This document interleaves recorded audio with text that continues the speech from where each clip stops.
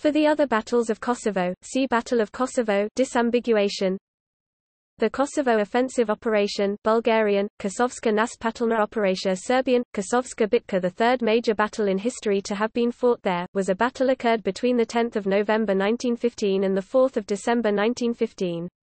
Serbian defeat in this battle led to the costly Serbian retreat through Albania.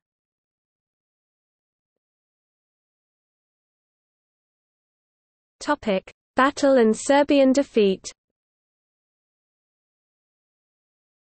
The battle began with the forcing of the South Morava by the Bulgarian First Army and ended with the total defeat of the Serbian army. The main blow was made by the First Army at the direction Nis-Pristina.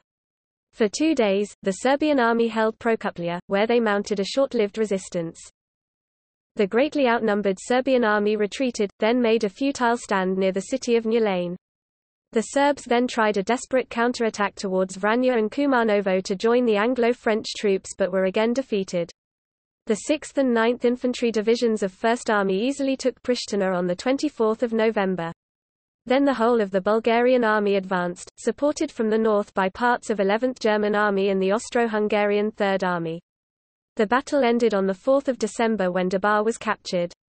The Serbs lost 30,000 soldiers, 199 guns, 150 cars and vast quantity of other military equipment.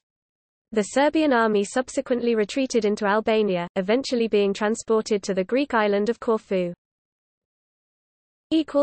Footnotes